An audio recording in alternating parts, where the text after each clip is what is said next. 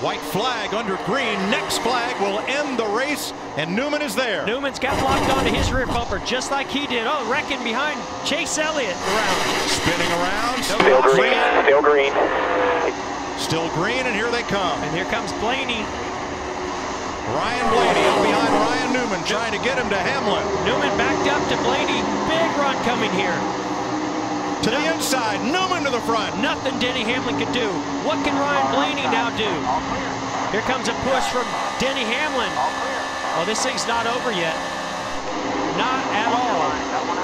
Ryan Newman off turn four for the final time. Blaney to the outside, to the inside. Here comes Hamlin up the outside. Crash into the wall, into the air.